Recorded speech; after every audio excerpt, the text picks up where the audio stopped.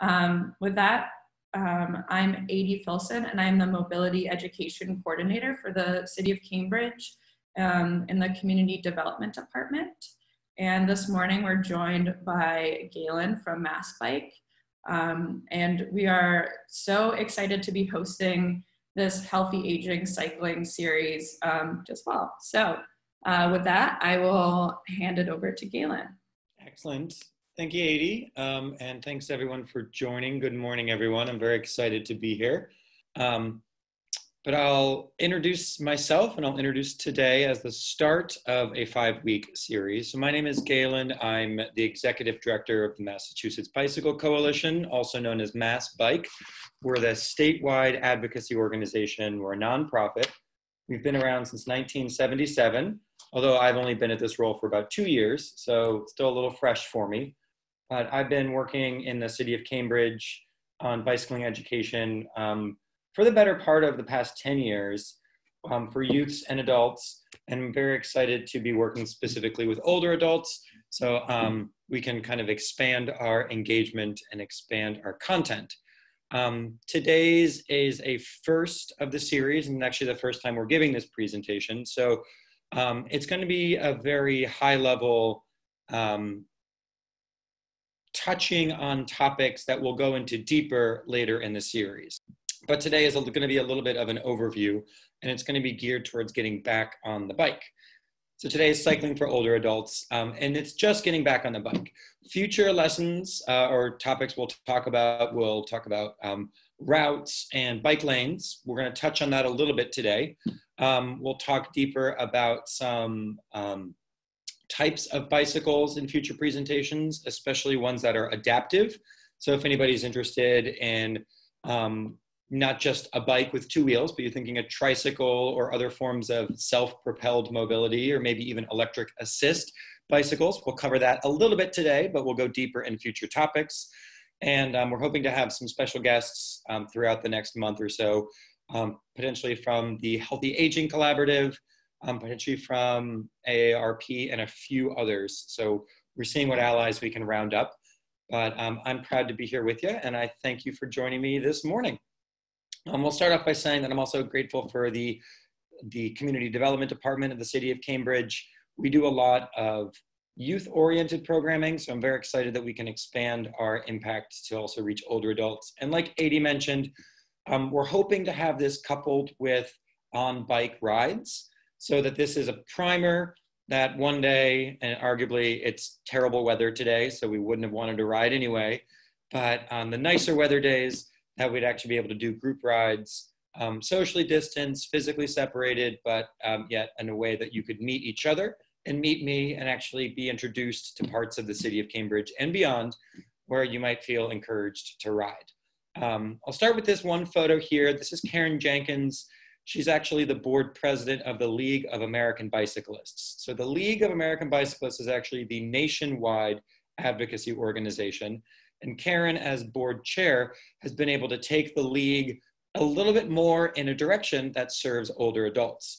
Now, we've heard time and time again that cycling, um, especially cycling advocacy, favors you know younger, um, more wealthy, more white communities. So, what I'm really appreciative of organizations like League of American Bicyclists here, in collaboration with the City of Cambridge and Mass Bike, is that we can expand our impact to reach folks who might otherwise be um, not necessarily part of the conversation. So my goal, though I'm presenting today, I want to encourage you all to feel um, part of the conversation and whether or not we can get the chat feature working today is besides the point. We're going to have um, plenty of opportunities over the next four or five weeks for engagement. So thanks again for joining.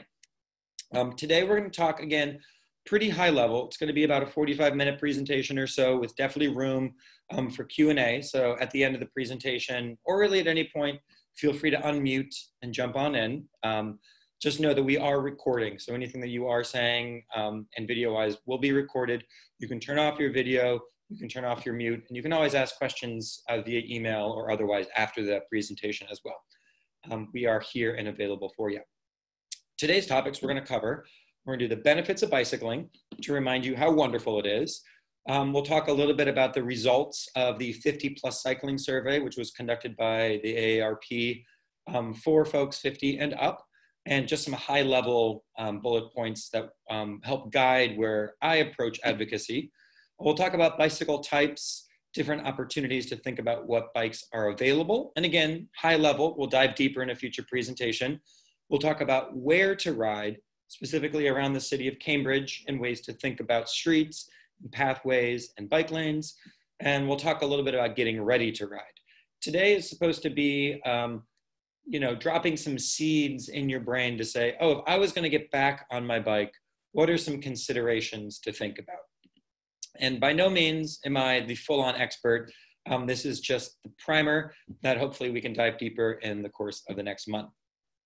But what I will say is that why is this important? Why are we spending so much time and energy on this? Well, though cycling is great for you personally, we're also trying to tackle some of the biggest systemic problems that we're facing, especially in the Commonwealth.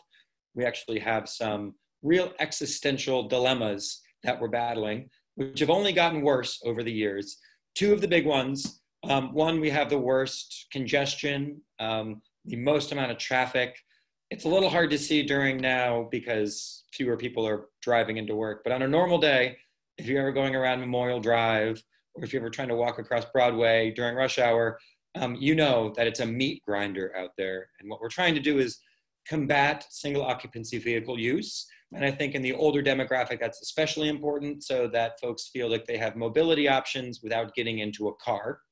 And the second major battle we're trying to fight is the greenhouse gas emissions, which arguably is the overall existential crisis for humanity and what we found in Massachusetts from a poll that's been conducted over the past 10 years is that the transportation sector is um, responsible for over 40% of the greenhouse gas emissions produced in Massachusetts.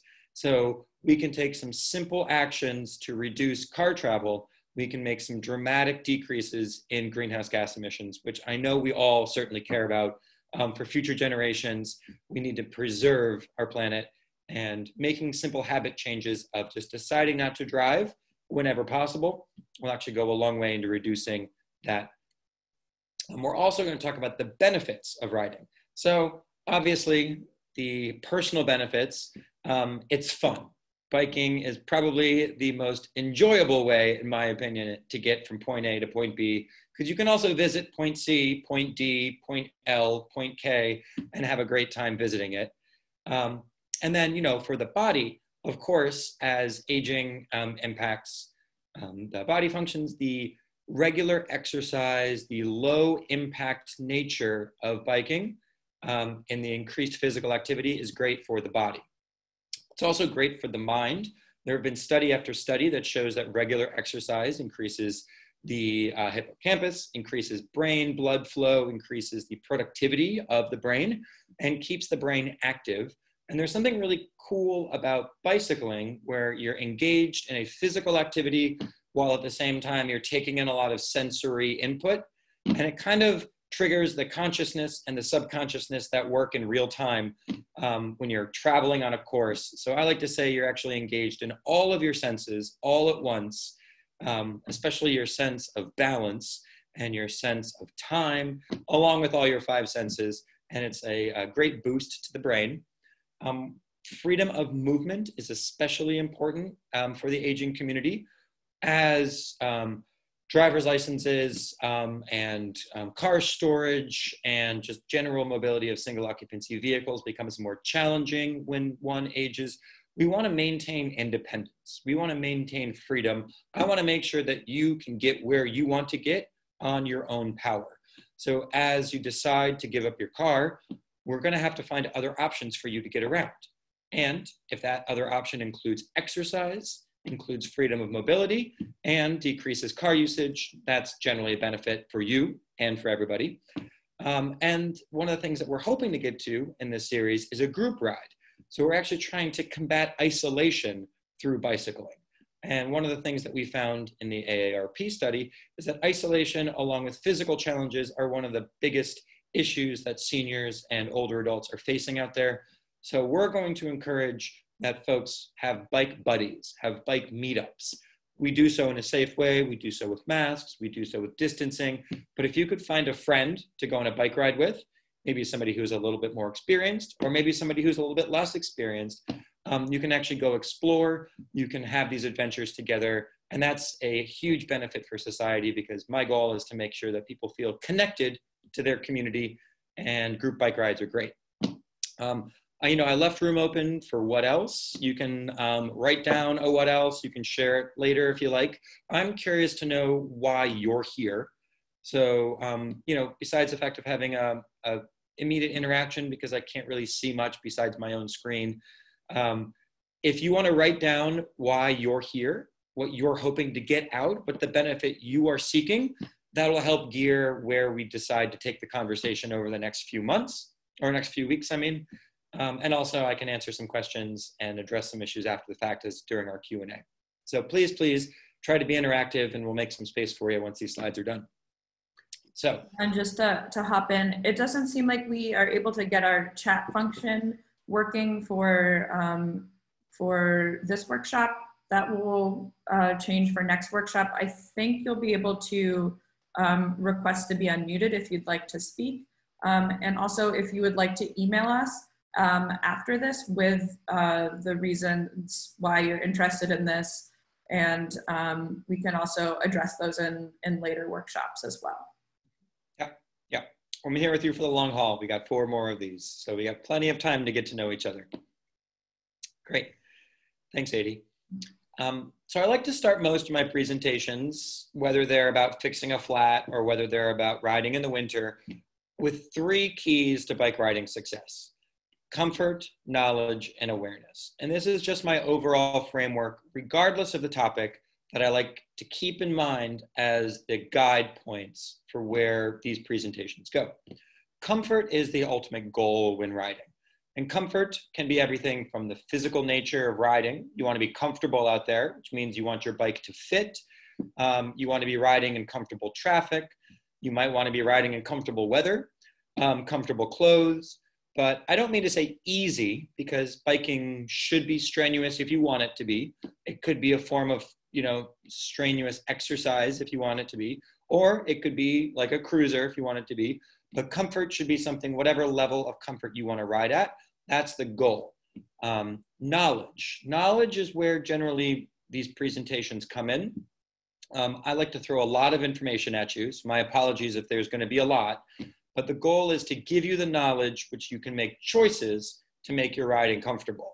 And it could be letting you know about different types of bikes or different types of bike lanes, um, different types of opportunities. And this is something that I'm gaining every single day when I ride. I'm still, I've been doing these presentations for about a decade, but I still get more knowledge every single day when I ride. So I'm still learning. Um, so I'm also here to take some of the knowledge you want to share. But again, these presentations are really in that knowledge bucket. And then awareness. This kind of goes to my general catch-all phrase. Um, this is like the biking is an all sensory experience. I think of it as a very Zen experience. Um, and by that, I mean, we're going to have a lot of information that you're thinking about. But as you start to ride, this becomes habitual, this becomes subconscious. And so the awareness is key because it makes that connection between your brain and your body. And if you're not aware of what's going on, you might find yourself in a dangerous situation. And by awareness, I don't just mean visual awareness or auditory awareness, but also be aware of your body. Um, are you hungry? Are you thirsty? Are you tired? Do you need to take a break? Check in with yourself. Um, be aware if you know on, on if you're inebriated you're kind of cutting off some of that awareness. So don't ride drunk because you're cutting off awareness. Um, don't ride with headphones in because you're basically blocking one of the most important senses that you have, which is your ears, to tell you what's coming from behind you. So ways of thinking about how can you make yourself more aware so that the knowledge that you're attaining from these workshops can lead to a comfortable bike ride. So these are my three frameworks that I like to think about. So keep those in mind as we jump around from topic to topic a little bit about the study. So um, AARP did a great study over the course of the past six or eight months where they got thousands of participants from across the whole country saying what are some successes and what are some barriers to bicycling? How can we address that? So some key takeaways that I found that I'm going to bring up, and there's a bunch of them, but these are like the key four ones. Um, the first one is that older adults bicycle more often when they have someone to bike with. So again, the goal of this whole series is to go on group rides, which we'll get there at some point. You know, COVID willing, we'll be out there. But the idea of meeting up and being bike buddies, that's probably the best way to get out. Um, we've also realized that COVID 19 has motivated many older adults to start biking again. And what I found is not just older adults, we're actually seeing an uptick in all bike traffic. Even though people aren't biking to work, we're seeing a um, almost doubling of traffic on the bike trails, specifically the Minuteman Bike Trail, and even all the way out in Western Mass. If any of you have visited the Westfield um, Columbia River Greenway, which is beautiful, um, it's up about 200% of the traffic of what it was last year. And we are seeing ridership increase mainly because people are feeling isolated and they can't go indoors. So biking is actually a perfect way to get out, get exercise, keep your distance, and have fun. And we're finding that is especially true in older adults as well. Um, we've also found that when we rated which bike infrastructure works the best in terms of bike lanes, older bicyclists want access to high quality and protected bike lanes. Now, that is no surprise we're finding that across the age brackets from 8 to 80, or I like to say 8 to 108, everybody should feel safe when they're riding a bike and protected from moving traffic. Now, this is something the City of Cambridge takes very seriously. Not sure if you're familiar, but the City Council has accepted and passed an ordinance which would require developers to build a protected bike lane network throughout the City of Cambridge um, with a timeline of about six years. So within about six years, we're going to have adjacent pathways. It'll be sidewalk, um, protected bike lane, travel lanes with parking lanes, separated, all totally separated. So you'll be able to travel throughout the city of Cambridge without fear of sharing space with traffic if you do so choose. Now, we have bits and pieces of it. Um, I'll touch on this a little bit later in the presentation, but you've probably seen this in the city of Cambridge more and more. It's new, it's not everywhere. So they're still figuring out the connectivity, they're still figuring out the education and the enforcement around it. But what we found is on a survey is that more older adults would ride if there was a protected bike lane network. And the goal, of course, is to get more older adults riding. So therefore, we have to build a protected bike lane network. And uh, lastly, which I'll touch on a little bit today as well, but go deeper in future presentations, are electric assist bicycles we found that e-bikes have actually um, basically allowed older adults to go further, to go farther, to go up hills, which otherwise would have prohibited riders. And, and folks with uh, mobility challenges or limited mobility are able to get over some of that mobility by having an electric assist bike. But these are different than scooters.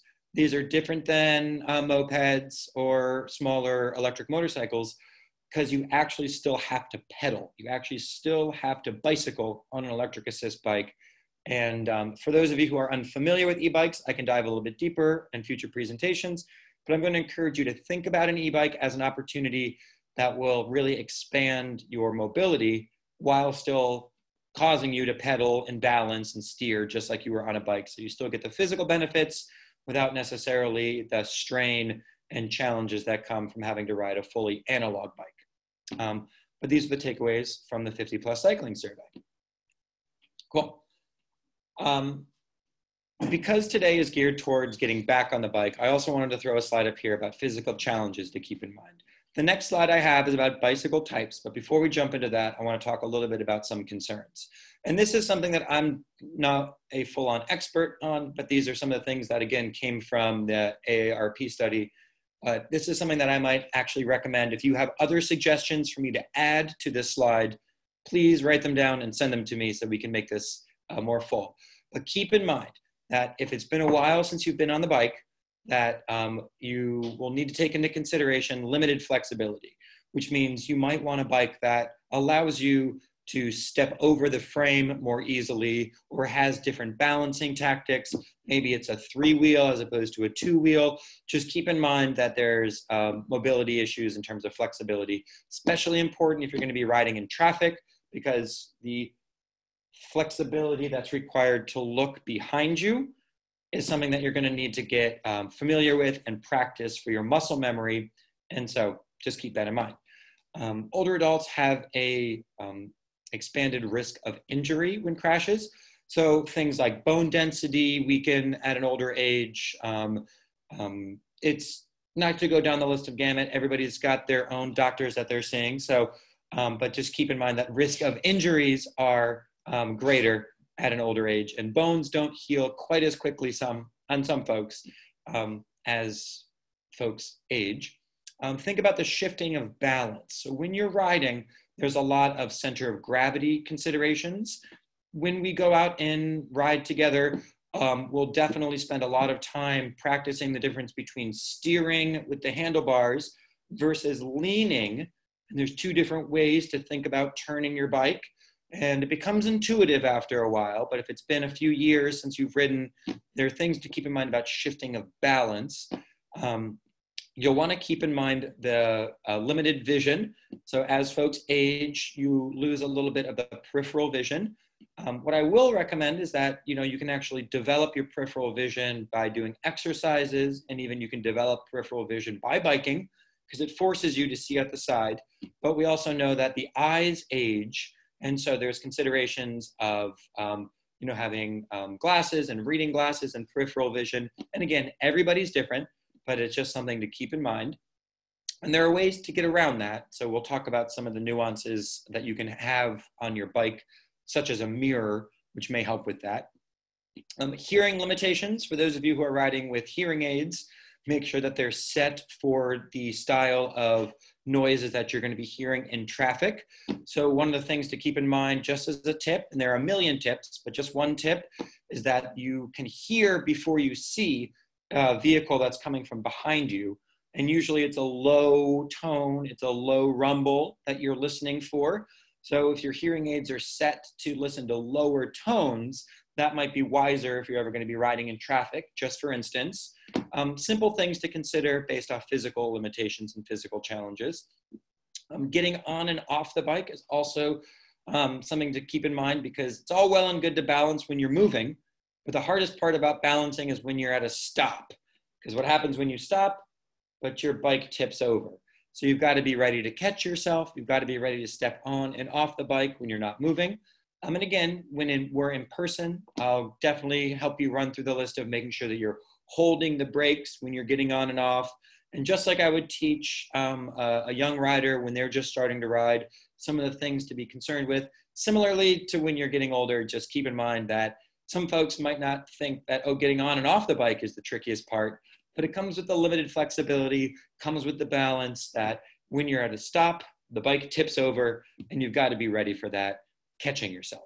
For those of you who are uh, who never stopped riding and are still riding, you probably know exactly what I'm talking about. When you come to a red light, you come to a full stop, you got to say, "Oh wait, I got to catch myself with my foot." So just keep those things in mind. Cool. I'll take a quick pause here. Adi, is there anything else to bring up? Um, I don't think so. I think the one thing we'd want to emphasize here is that even if you are experiencing some of these physical challenges, um, it might initially take a little bit to work on them, but um, many of these things can be overcome or there are adaptations or uh, solutions. So this is not in any way a discouragement, but um, just things to keep in mind and I think the great thing about biking is that um, it can help with a lot of these things, um, a lot of these physical challenges, and um, you will likely see a, lot of improvement with the um, more that you do um, get on a bike. Great. Yeah, thanks, Adi. Yeah, this slide again, just to reinforce that, this is not meant to uh, scare anybody away. This is just a preliminary thought as we jump into some of the options of what's out there in terms of biking. So leads into my next slide about the different types of bikes. So keeping those limitations in mind or keeping your own interests in mind. Why are you riding? What type of riding do you want to do? Different types of riding will lead to different types of bikes. Now there's a million and one different types of bikes. It's a sliding scale. So you can find yourself anywhere on the spectrum, but just a few to bring up. Um, and they have different reasons for riding. So you'll have like, for instance, a commuting bike, which is a little bit more upright. Um, it forces the head to be a little higher up, which might be a little easier on the neck. Um, it allows you to kind of look around more. You're a slower bike. It's probably a heavier bike. It's a less efficient of a bike, but they're very common, especially around the city of Cambridge when you're only going a few miles. Um, maybe you're going to the store, going to the park. A commuter bike is probably the preferred one because typically they're easy to get on and off. Typically, they have multiple gears, so you can make it easier or harder to pedal. Typically, uh, they have fenders, so if you're riding in the rain. Um, and then we have uh, what we see commonly, what we call the Cambridge crate, which is that milk crate, which is zip tied to the back of a lot of people's bikes for storage. Those work really well for commuter bikes because you're not really concerned about weight. You're not really concerned about efficiency. It's just trying to get from point A to point B and have fun. You can have a mountain bike, which is a fatter tire bike. Um, and again, we'll go into a lot of these at the next presentation next week. I just wanted to give you an idea of some of the options that are out there. But mountain bikes are fatter tires. They're a little bit softer. Um, they're made for potholes. If you want to ride off road, which I highly recommend going and checking out the parks, and you want to have a mountain bike or something that can go off road, not every bike can go into the woods. Um, you'll want to think, um, you know, what is my bike made for? What is the type of riding I want to do? Um, a road bike are typically thinner wheeled bikes that are higher pressure tires, which mean they go faster, there's less friction. Um, they're lighter weight, but they're a little bit more, let's say, designed for speed and designed for distance. So if you're concerned about going far or concerned about going fast, maybe faster, a road bike might be something to think about, but it puts the body in kind of a downward position, and that's kind of the, the top middle image right there. A folding bike, which is kind of the middle um, center one, those are great. Folding bikes um, are great because you can bring them on the bus, you can bring them on the train, you can bring them indoors, um, you can put them in the trunk of a car. So if you want to drive or get a ride to a park, um, it's very easy to have a folding bike with you. You can just fold it up, and they they're about the size of a rolling suitcase generally. And there's a bunch of different types. Again, we'll go into it next week, but it's just an option to think of multimodal. Those are great. Um, elect, uh, we'll talk about recumbent bikes. That's kind of the bottom corner on the bar, bottom right.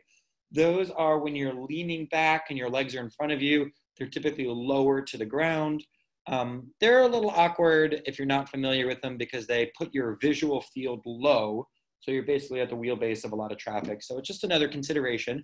But for folks who um, like the, um, the physicality of leaning back and having the legs forward, it's a very efficient way to ride. Typically, they can be tricycles as well. We call them tadpoles because there's either like two wheels in the front and one in the back. It looks like a little tadpole when you're riding around. Um, but those are really great for older adults because you don't need to worry so much about balance and you don't need to worry so much about being high up off the ground if getting on and off the bike is a concern. Um, so recumbent bikes are also great, especially if you're on a bike path because you're not worried about traffic. Um, and then perhaps bike share. So you've seen the blue bikes, I'm sure, or the Hubway bikes that are around the city of, of Cambridge and Boston and Everett and, and Brookline and elsewhere. Um, those are really heavy. Those are um, weighty. Um, they're designed for stability, not really efficient, but they're really good about going from point A to point B. So if you haven't tried them out, they're great as well, just for balancing sake. But they are heavier. That's another thing to keep in mind. Um, and again, there isn't just one bike versus another bike. There's a sliding scale, so you can kind of choose where within the spectrum you want your bike to be. And lastly, though, I will bring up electric assist bikes. Um, these are game changers for a lot of folks who are getting back on the bike because they basically make any hill feel like you're riding on a flat. And what they do is they engage the motor when you're pedaling. So you still have to pedal the bike. You still have to ride the bike, but it's just a little bit of a boost for folks.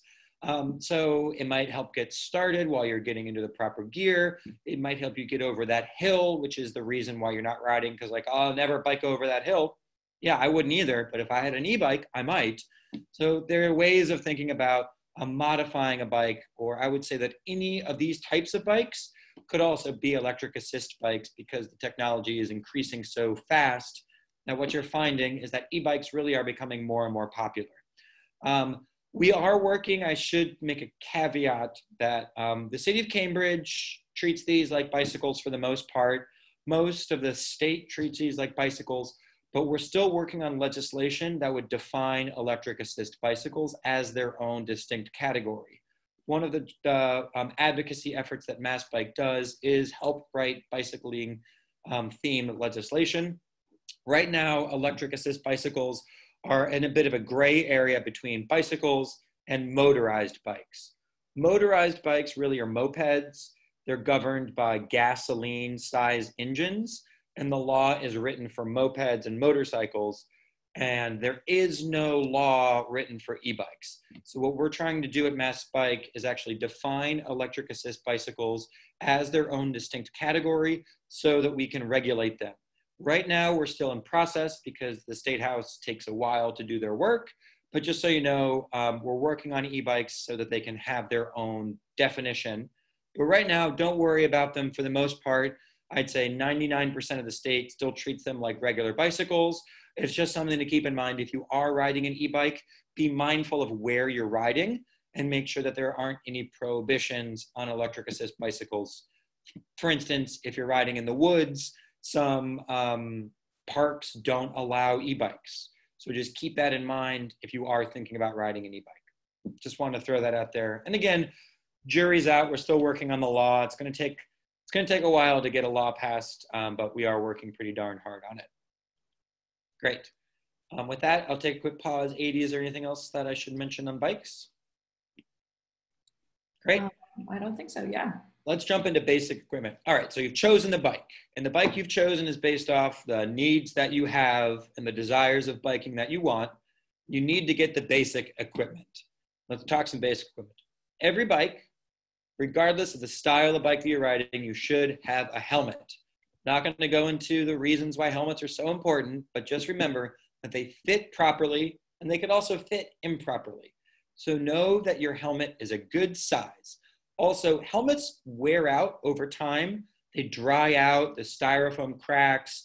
I say if your helmet is over older than five years old, get a new helmet. And I might say, oh, well, I got a helmet from the 90s. It looks fine. It's not fine. You don't want to mess around.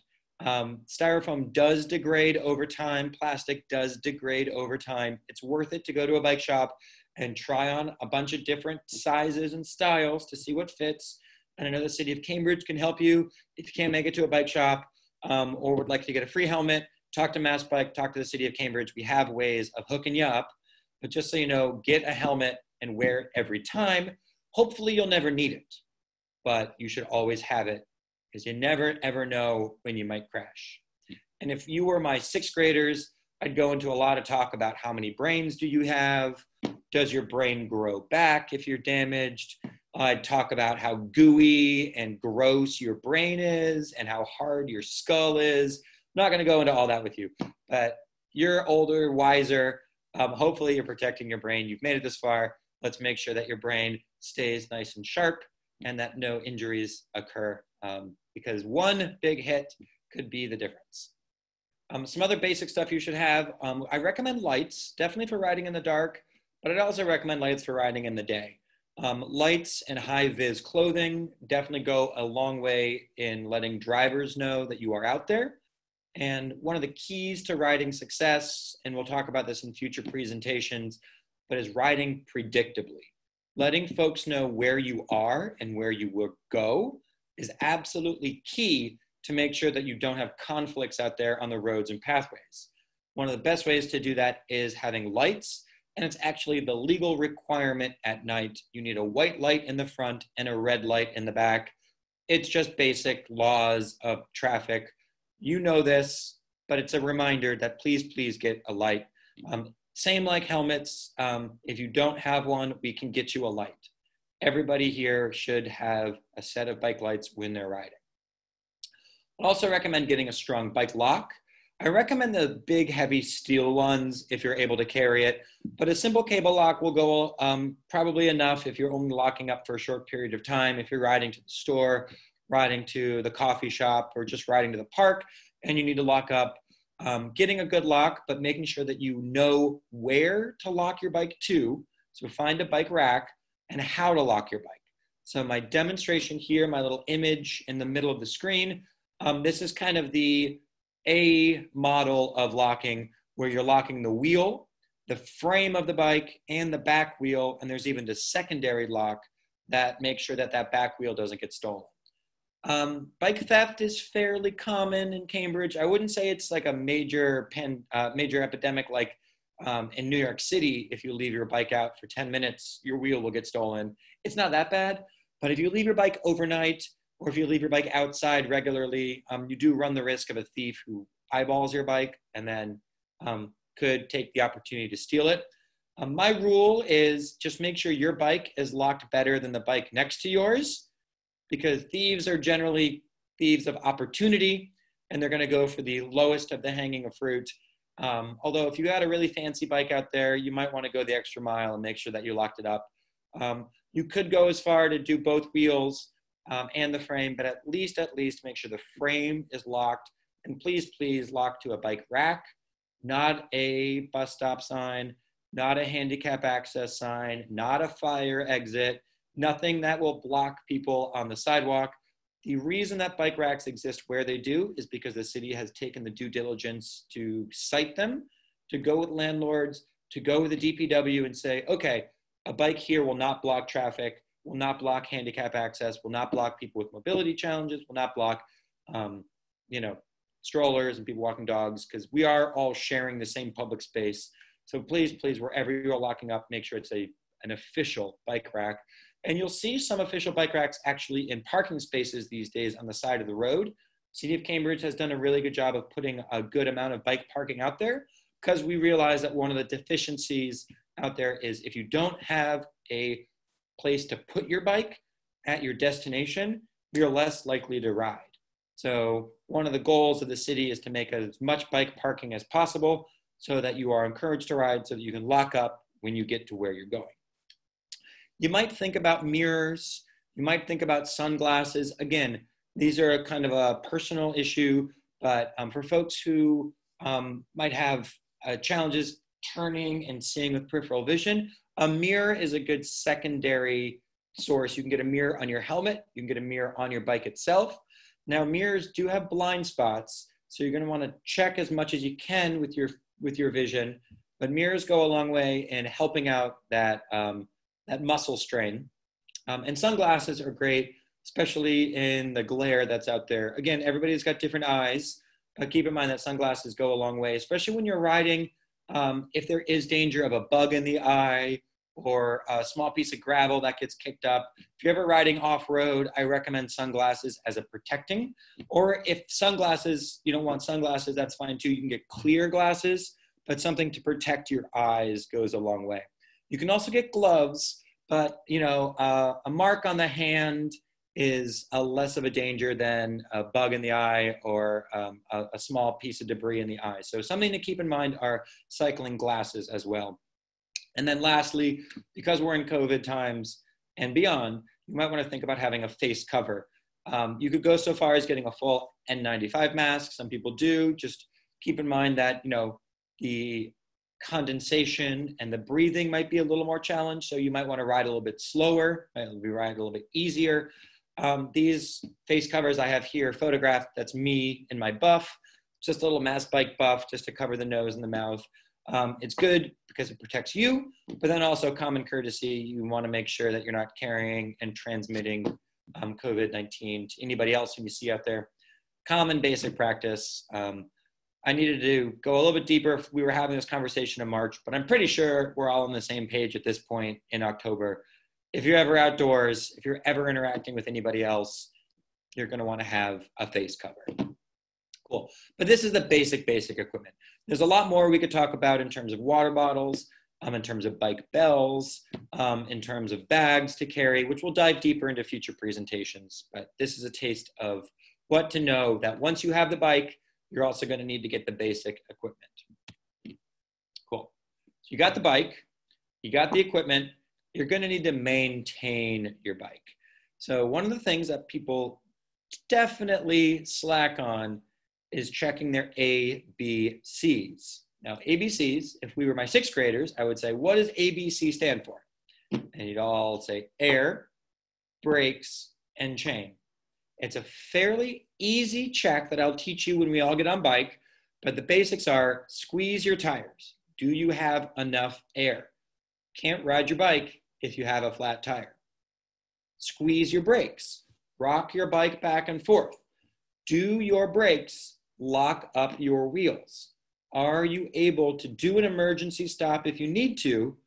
Do you feel comfortable that your brakes are strong enough to stop your bike? If your brakes are weak, you need to check them. And it might mean that you adjust them. So the image here is adjusting the barrel adjuster, which we'll go into when we're on bike, about how to tighten or loosen your own cables. Every bike's got them somewhere. Sometimes they're by the handlebars, sometimes they're by the brakes themselves, but I'll show you where they are. Um, you also want to check the brake pads, and then you also want to check the brake alignment to make sure that it's stopping the wheels. But there's a lot of varieties, and if you're unfamiliar, you might want to have your bike checked out at a bike shop.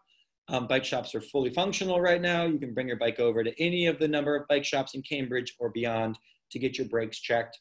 Um, it's absolutely crucial. I think the most important part about biking is being able to stop. So make sure you can test your brakes before you ride. And then the chain. The chain I like to think is the go of the bike. It's where the force of your pedaling and the momentum and all of that power comes from. If your chain is dirty, your chain is rusty, um, you're not going to have an efficient ride. You might not be able to shift gears easily. Um, you might be slower because your chain is gunky um, and there's a lot of friction going on. And if your chain looks like the chain down here, that's bad. That's actually going to wear away your chain and it's going to cause your chain potentially to break on you. And it's, I've actually broken a chain while riding and it's not fun. You have to walk home. Um, so getting in the habit of cleaning and lubricating your chain regularly, and by regularly I mean maybe once every month or two, or if you're riding in the winter, which is possible, maybe you know at the end of a ride you just wipe down your chain, keep that rust away. Um, and we can go into these in depth, but the ABCs, again, is air, brakes, and chain. And it's something that you're going to be responsible for knowing how to do on your own. Anything more than that, you can bring to a bike shop. If you need to replace your tires, a bike shop can help you. If you need to replace your brakes or get them fully adjusted, a bike shop can help you. If you really need to go through and adjust your chain tensions um, or how your shifting works or to get a new chain, a bike shop can help you. But you should know how to pump your tires you should know how to check your brakes, and you should know how to clean and regularly lubricate your chain. It's just basic maintenance. And actually, it's pretty fun once you get into it because it gives you something to do. And I guarantee you, you're going to feel it immediately. Once you put some air in the tires, you're going to have a lot more fun when you're riding out there because you'll go faster. You'll be able to go farther with less uh, challenge. Um, you'll be able to stop quicker and you'll be able to shift gears much more easily. It just feels better when the machine is working in your favor. Cool. But just for some considerations. Yeah, jump in, Adi. Thanks. Hop in there. Um, I do periodically host mechanics workshops um, throughout the year. Um, so if you're interested in any uh, more in-depth mechanics workshops, you can sign up uh, for the our bike workshops newsletter. That's um, cambridgema.gov slash bike workshops and we'll post the schedule and, and email out um, when we are hosting those. Cool. And I highly recommend them too. Adi's a great instructor and there's a lot of varieties of bicycles and Adi knows them all. So great. Um, cool. So you've got your bike, you've got your gear, your bike is in good condition. How do you start to think about getting back on the bike? So just some basic tips. And again, you might have some more to share with me, so I encourage some feedback. But you want to start slow. You want to start very basic if it's been a couple of years. You want to build up the skills, and that um, it's going to take a little bit of planning. Um, don't expect that you're just going to jump to riding to the store if it's been 10, 15, or more years. What you're going to want to do is basically find yourself a nice, safe, protected area free of traffic and I would recommend, you know, first getting on and off the bike, holding the brakes, make sure the bike doesn't roll anywhere, tilt the bike over, step over it, get on the bike, get off the bike, get on the bike, get off the bike. Do that honestly for five minutes and just build up that muscle memory so you get familiar with it. Second, find yourself a nice protected space free from traffic like a parking lot. Um, or a park, or maybe Memorial Drive when it's closed on Sundays, somewhere where you can get to that is free from distractions and dangers. That's going to be very important so you can focus on yourself, your body, and your machine. Again, this is a lot of knowledge that you're going to be attaining, which hopefully becomes subconscious. But it only becomes subconscious once you start to do it regularly. So think about maybe for the first, you know, who knows, five or six times you're riding, you're not going to go anywhere except loops in a parking lot, and that's totally fine. You're going to want to get familiar with your braking, get familiar with your shifting, get familiar with getting on and off the bike, and just start with the basics. I guarantee you, even if you're riding in a parking lot, it's still going to be fun. And when we are together and doing our bike drills, I'll teach you some of the on bike drills about how to practice your bike skills just in a parking lot. You can actually have a lot of fun building your own little course. Um, but start, start slow. Um, once you get comfortable with that, I recommend finding places that are free from traffic. So find the off-street pathways. Cambridge is great this way. For those of you who live in West Cambridge, the pathway around Alewife um, and the pathway around Fresh Pond is an awesome pathway. It is gorgeous, it's flat, it's safe. Um, people aren't going fast, mostly joggers and dog walkers. Um, and it's gravel, so you're not even so much worried about the pavement side of things. So you're forced to go slowly. Um, that's a great little pathway. On the weekends, while they're still closing Memorial Drive by Charles River, by Harvard Square, all the way to Western Avenue, is also a great place to practice because you have a lot of space and you have a long distance. Um, it's also a wonderful place to people watch. Um, you know, if you're out in East Cambridge, you can be on the pathway system along the Charles River or over by North Point Park. There's a lot of pathways that are by North Point Park, by the Education First facility and the Museum of Science, which actually we call them traffic garden. They're made to look like a street. So you're actually kind of building up your mental palette of riding um, in a streetscape, but find the places that are comfortable to you. And again, don't need to jump into traffic. You don't need to ride in the streets to start. Just start slow, start where your comfort level is at. And then once you're ready, I would say start with short trips. Get familiar with riding to the store, riding to the grocery store, the coffee shop, the pharmacy, finding where the bike racks are. To then you'll start to think about the tips and tricks about, oh, if I'm going to make this a real part of my daily life, how am I going to get over some of the barriers about, um, you know, this intersection is terrible. Maybe I'm going to avoid it or this bike rack is really great. I'm going to make sure I park my bike there, even though it's an extra block to walk to where I'm going. You're going to find these little trips um, and these little tricks to make your trips happier. But by starting with short trips, it just makes life a little bit easier, and then you can kind of grow your distance and grow your length. But again, main tips is start slow, start easy. And just to hop in there, um, remember that you especially if you start with short trips, you don't have to bike both ways. Um, you can walk your bike there and bike back, or vice versa if you just want to um, get a little more comfortable with the route. Um, also, I think something that we see is that, um, you know, this isn't always about like physical ability, a lot of it can be just confidence, um, being comfortable and confident on the bike. Um, I think a lot of times if people are really nervous, you're actually way more likely to uh, take a tumble. And so a lot of this is just making sure, you know, even if you're physically able, um, building up that confidence and and um, um, yeah. Cool. Excellent. Thanks, Adi. Cool. Once you've got the confidence, once you've got the muscle memory down, once you've got the bike, the bike's in good condition, you got your helmet, your lights. I know there's lots of steps here. Um, you're going to want to think about your route. So I'm, I'm going to fly through these because I'm actually going to dive deeper in the next presentation about routes in Cambridge, but just some things to keep in mind.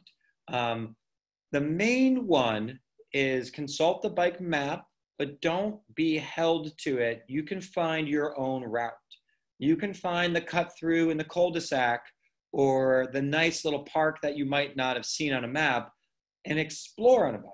So feel free to go find your own course. I also recommend finding a bike buddy. So um, maybe in the future when we can get everyone kind of in a more meeting setting, I might encourage us to take a few minutes, maybe at the beginning of the next webinar, we could do that if folks can introduce each other. Let, um, let us know where you're calling in from. Let us know if you're already riding or if you're starting or if you're just interested and what type of riding you might do. And we might be able to set up a little match and you might be able to meet up and share tips. Maybe you're not going on a ride yet, but you can at least lean on each other. Um, I've got a few tips to share in this presentation, but I guarantee you that there is a lot more knowledge amongst our participants than we have in this presentation. So I'm going to encourage us to find bike buddies because you're going to find that friend, um, that coworker, that person who is volunteering with you, who knows your route, who knows the way to get around that tricky intersection, and that's the best way to kind of really get over some of the barriers from somebody with experience. Cool. So let's talk a little bit about routing. Um, the city of Cambridge does a fairly good job with their bicycle facilities. Again, we're in process of building out a separated bike lane network, which is going to take five to 10 years, so give it time. But what we have right now is basically a smattering of different types of infrastructure throughout the whole city. Not going to belabor the point here. We're going to dive deeper in future presentations. But just so you know, there is a bike map that the Cambridge Community Development Department puts out. Um, this one is a little bit outdated. It's about three years old. So there's a lot more bike lanes that have popped up since this has been done in 2017. But you should also know the city of Cambridge has a bike map, a bike plan, which they're currently rewriting. And um, we'll send some information about how to chime into that bike plan afterwards, because we are taking public input on it to know where to guide the next five to 10 years on the city of Cambridge. But if you can think about where you are on this map, this might be a really nice and handy resource to say, oh, I live right near this pathway. I never knew that connection existed. So just something to keep in mind. And we'll share these slides afterwards. So if you want to see this bike map, um, you, can, you can take your time with it. Um, one thing about the bike map is that there's definitely different types of bike lanes. Um, your route may encounter all of these different types of bike lanes on the streets. Um, we'll go into them more deeply in a future presentation, but for the interest of time, suffice to say that they all offer different varieties of protection from moving traffic to varying degrees. Some have you riding in traffic, sharing a lane. Some have you next to major traffic, but there's no barriers. So cars and um, trucks and buses can still merge into the bike space. Um, some bike lanes have a physical protection. Sometimes it's a parking lane, that's the physical protection, or a flexible bollard, that's the physical protection. But just so you know, um, there are some options with physical protections, and then some are actually built totally separate on the curb, more sidewalk level. And again, it's a sliding scale, so you might have a bike lane that's somewhere in the middle of that, somewhere. Um, we're also seeing some more intersection treatments. We're seeing some bus shared bike infrastructure. Um, but flying through um, the city of Cambridge, you're going to find that you're going to be on a sharrow, and then all of a sudden you'll be in a bike lane, and then all of a sudden you'll be in a protected lane, mainly because the bike lane network is still in process. And then once you leave the city of Cambridge, it all depends on what the local municipality has built. And I would say that Cambridge is kind of farther along than some of our neighbors but just so you know that there are different varieties of bike lanes out there. Um, and what it's based off of essentially is the level of comfort that you get riding in the city based off the streets. So this is actually an analysis of all of the streets in the city based off how comfortable people feel. And of course, this is very subjective and it changes depending on the weather, maybe depending on the traffic, maybe depending on the time of day. But generally, we see a lot of oranges, a lot of yellows, and some reds, which are arguably kind of the more dangerous roads. So if I isolate out in my analysis just the low stress, high comfort levels, um, uh, yeah, what you find is you get bits and pieces of high comfort bike lanes.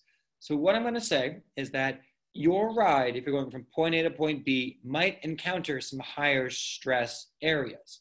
So, what I would encourage us to think about are planning routes that incorporate the physically separated infrastructure with the lower stress, which may mean avoiding some of the higher trafficked roads. And one slide I like to bring up is the crash map. Now, each of these dots and I'll, I'll orient us in a second. Each of these dots is a crash that has been reported by Cambridge police or that was responded to by the EMT that involved a bicyclist.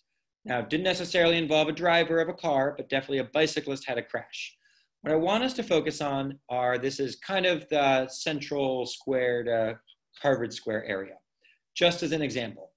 What you'll see is that around Broadway, around Hampshire, around Mass Ave, there's a cluster of crashes. Now, these crashes are from 2014, um, I think, to 2019. So it's five years worth of data. So it's, you know, a lot of data. Crashes are not very common, but I just want to show you that there are roads that have fewer crashes because there's less traffic. And what I want you to think about is Harvard Street, which might be a little hard to see here, but it basically splits the middle between Broadway and Mass Ave. You have Harvard Street, which conveniently is between city halls, which conveniently also goes past a couple of bike shops, conveniently also goes from the business district of Harvard Square to Central Square. But it is a way to avoid Mass Ave and a way to avoid Broadway. You can find a quieter street. So, this is what I want you to think about. Once you're comfortable riding, once you're comfortable with your mechanics, once you're comfortable with your mobility, when you are choosing your route, it does not need to be Mass Ave. Even though Mass Ave has a bike lane, it's not comfortable. It doesn't need to be Broadway. Even though Broadway at some points have bike lanes on certain blocks, you do not have to ride on Broadway. You can find quieter roadways that kind of split the difference and that's what I want you to start to think about. Where in your neighborhood might you be able to avoid some of the worst traffic and find some of the quieter streets, which may be safer? And it may require you riding on infrastructure like the sharrow, which is more shared. But if traffic is slower, if there aren't any buses, if there aren't any delivery vehicles, you might actually have a safer time riding in the neighborhoods than you would on something that has a bike lane just for reference point. Um, and to keep in mind that there are fully separated facilities. Now, this map is actually, again, outdated.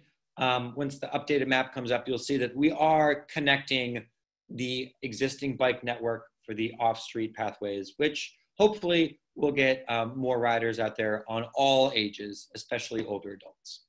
Cool. Um, oh, and I'll leave this map up for a second. This is not just the physically separated roads um, with bike lanes, but this is also the ones that are considered low stress. And you'll see that it has a lot of neighborhood roads in it. Um, for instance, those you familiar with Mass Ave in Central Square, I recommend riding on Green Street or even Bishop Allen before I would recommend riding on Mass Ave, just based off traffic. I don't know, Adi, is there anything else to jump into about infrastructure in the city um, before I wrap up? Um, I don't think so. Cool. I think we'll, we'll be going over more infrastructure in a in a later workshop. So um, more to come. Excellent. Great. So just um, oh, uh, one more slide I forgot to throw in here. I just threw this one in here. This is an example of a ride that the city of Cambridge hosts. It's called the Bow Tie Ride because it looks like a bow tie. This is one of the group rides that in a normal year we would have hosted that would have had a couple hundred riders um, we would have closed down some streets. We would have police escorts. The city would have been there. I would have been there. It would have been a great time. You would have seen riders from all ages.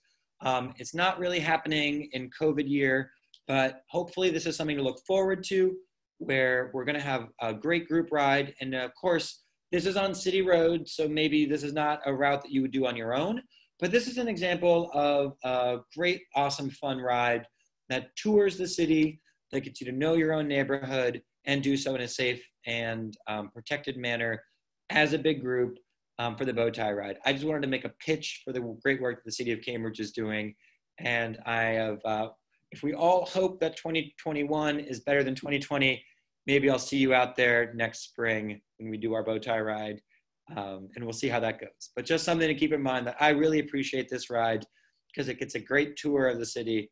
And again, it's cute because it makes you think of a bow tie, which a lot of people think the city of Cambridge, the map looks like a bow tie. So that's where that comes from.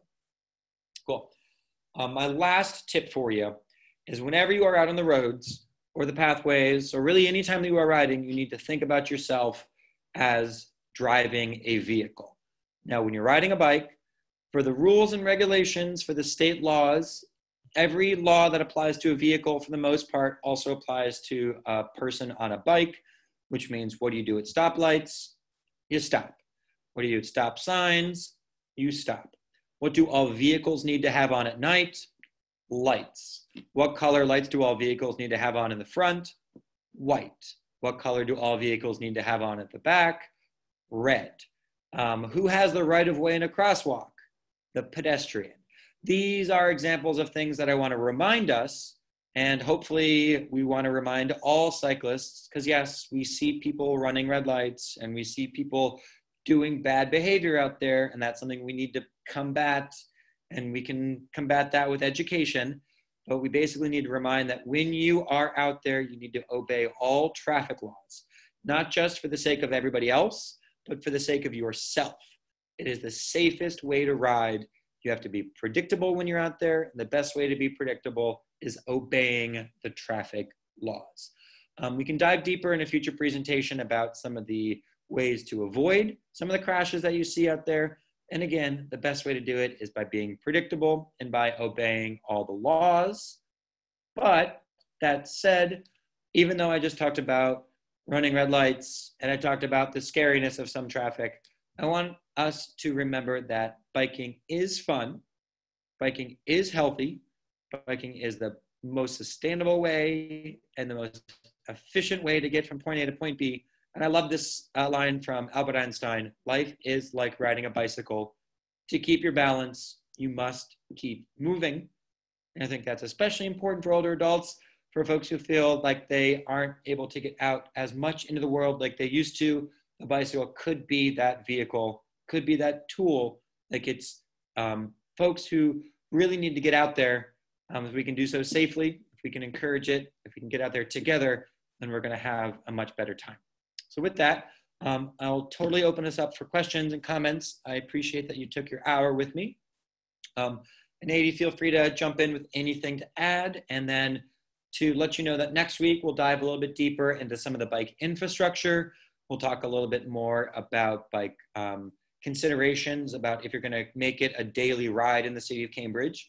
Um, going into future weeks, we'll talk a little bit about some considerations of adaptive cycling.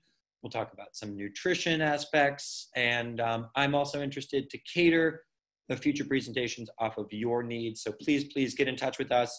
We have both of our emails here.